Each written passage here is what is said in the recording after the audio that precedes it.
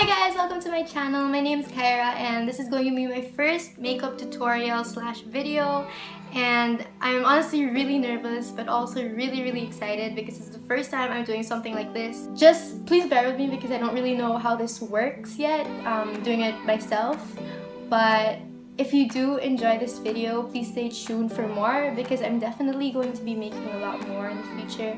So please comment, like, subscribe, and share this video if you enjoy it. And let's get into the tutorial. So first I'm going to start with priming my eyes. I'm just going to use concealer because I find that um, concealers really just cover it up and don't show any of your veins or discoloration in your eyes. So I'm going to be using the LA Girl Pro Conceal. That's what it looks like. So I'm just going to be putting some on my eyes. And then just blend it out either with a brush or with your finger, it doesn't really matter as long as your fingers are clean.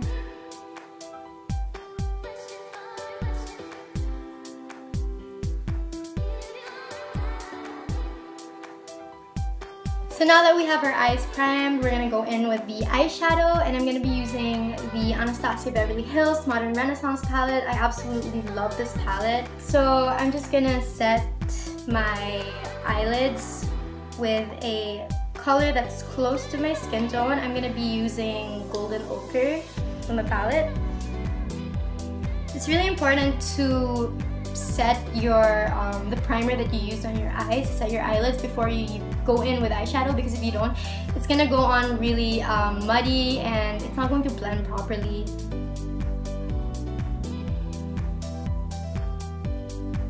Okay, so now that we have our eyelids set, it's time to go in with the actual um, colors that we'll be using. First, we're gonna go in with a really nice transition shade. And the look I'm gonna be doing for today is my favorite look to do. It's a glittery um, pink smoky eye. Not super glittery, just um, there's just some shimmer. Oh, there's just some shimmer.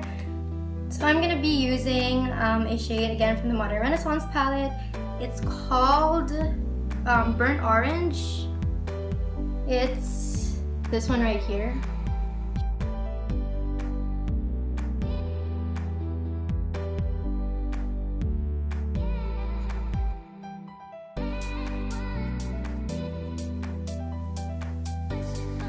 To building up eyeshadow is that you shouldn't put a lot right away and uh, make sure you blend it out more before going in with more color, with more um, eyeshadow product on your um, eyelids because it tends to get muddy if you put too much. So now that we have a crease color on, I'm going to be going in with our first pink shade and it's going to be um, Love Letter. It's this one here. And I'm gonna be using my Morphe M433 brush for this. This is really good because it's so fluffy as you can see. And again, I'm just gonna be dipping into the eyeshadow and I'm gonna be tapping off the excess. And again, I'm gonna be putting it into the crease along with our transition shade.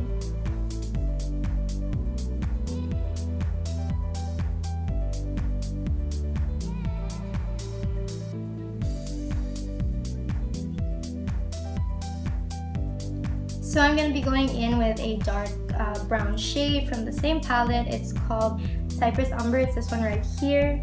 I'm just going to be um, putting that on the outer edge of the crease. I'm going to be using an e.l.f. Uh, blending brush. It's a little bit more tapered, which is good for the edges. So I'm just going to go in with that color um, on the crease, just barely. We're gonna be creating a sort of V shape. So I'm gonna put it on the very, very outer V.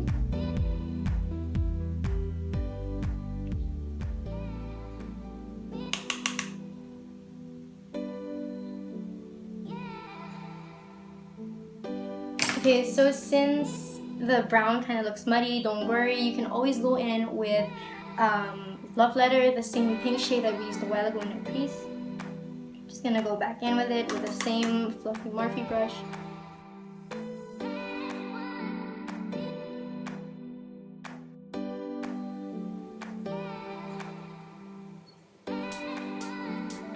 Okay, so next I'm to be packing on some eyeshadow. I'm to be using Venetian Red, again from the Anastasia palette. I'm to be using a flat shader brush from ColourPop, like that. And I'm just to be using this to blend out the edges, the harsh edges in the corner to make it a little bit sharper, just a little bit, not full on sharp. So now I'm to be using ColourPop Sequin. That's what it looks like. This is my absolute favorite ColourPop Super Shock Shadow. It's so beautiful, it's so intense.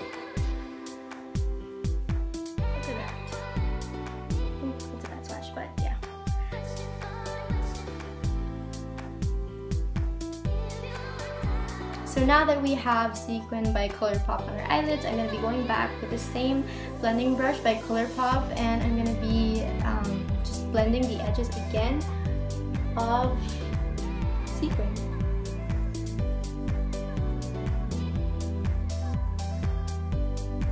I'm going to be using um, a Kate Digital Memory eyeliner pen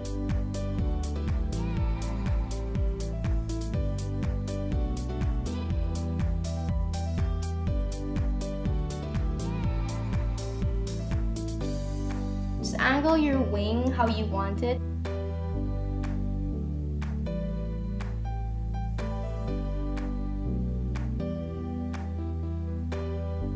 So now we're gonna start with the actual face makeup. Um, I already primed my face with the Benefit POREfessional. So now that I've primed my face, I'm going to be going in with my foundation and I'm going to be using the Milani Conceal and Perfect 2-in-1 Foundation. I'm in the shade 02 Natural and since this is too dark for me, I'm going to be using the same um, LA Girl Pro Conceal that I used on my eyelids while I was prime. I'm just going to be mixing them together. I'm just going to put one pump of the foundation on my hand and I'm just going to use my finger to dab it all over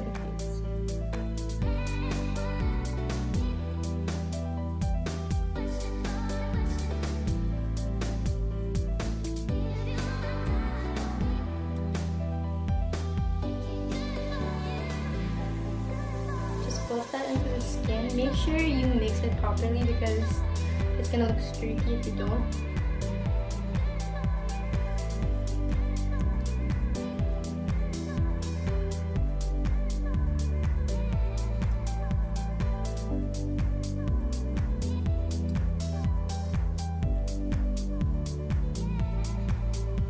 So now I'm just going to conceal and highlight my under eyes and the middle of my forehead just to bring back some um, life and some dimension, some definition to the face.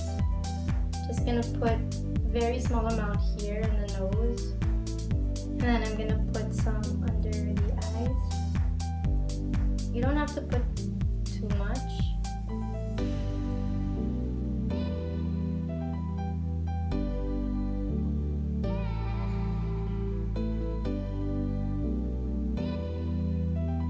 Some here on the chin and over here on the forehead. So now we're just gonna blend it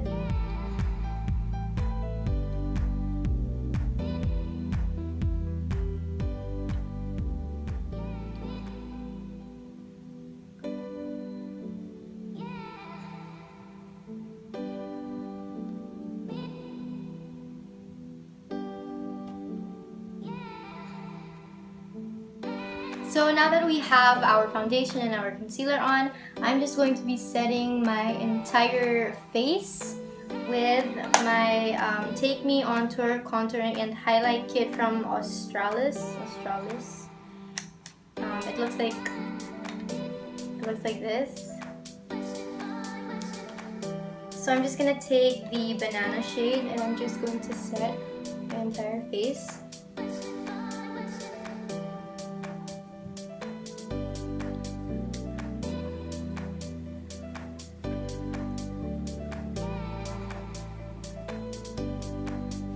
That I've set my face with the banana powder in the palette, I'm going to be using the contour shade inside, the brown one. I'm not really going to contour or that much, I just want to bring back a little bit more life into my skin. It's important because when you put on um, foundation and concealer, it tends to look flat and you kind of lose your natural one with that to your face. And then just blend it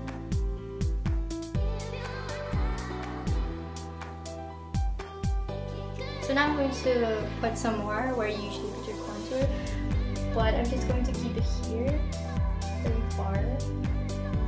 Because again, I don't really want contour, I just want to bronze the face up a bit more, add some definition.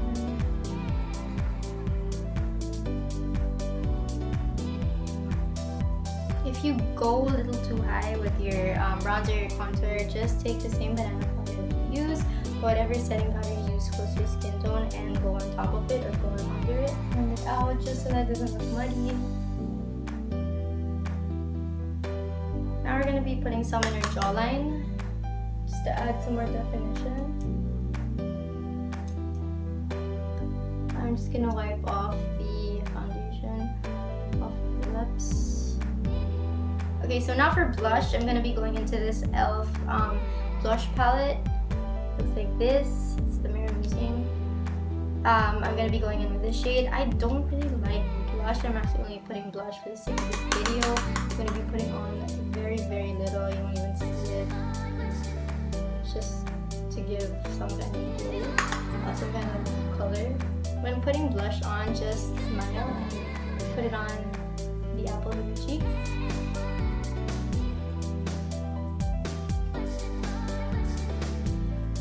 Okay, so I went ahead and smoked out my lower lash line. I went and used the same um, shade that I used in my crease, the pink one, Love Letter, from the uh, Modern Renaissance palette, and I put it under. So uh, the video just cut. It stopped recording um, in the middle of me doing my um, waterline eyeliner and my um, mascara. So basically, I just used the Lashionista from Maybelline. This is a really good mascara. The wand is simple. Um, the wand is similar to that of Benefit's Roller Lash.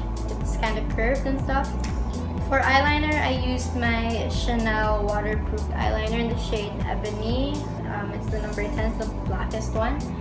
I just put it under here in the lower lash line and I put a lot of mascara on, both on the top lashes and on the bottom lashes.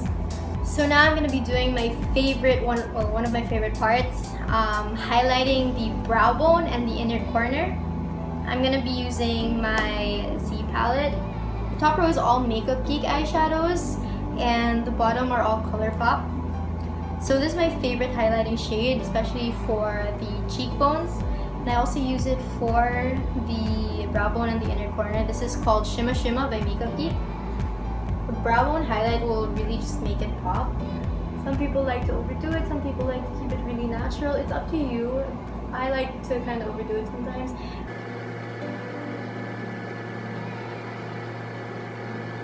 So next I'm going to be doing my inner corner highlight. This is so fun to do. It just really adds um, brightness, and especially when you're doing a smoky look like this. And I'm gonna put a little bit on my nose here and a little bit on my cupid's bow just to highlight the lips. Using the same eyeshadow, Shimma Shimma, I actually use it for highlighting my cheekbones. It's just so intense and so pretty. If you're the type who really likes a very intense highlight, you have to be careful that you don't put like a white strip on your face, unless you're into that. But um, personally, I don't like it on me so I'm very careful with how I blend it into the skin. Now to finish off the look I'm going to be using a lip gloss for the lips. So this is the Pat McGrath um, Clear Vinyl Middle Gloss. It's like this.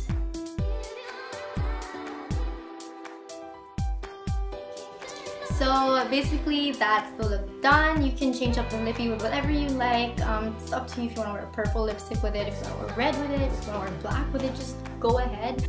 I actually like how this video turned out so far and I really will be doing more videos in the future and I hope that you enjoyed watching it as well and I hope you like this look. So thank you so much for watching and I'll see you in the next video.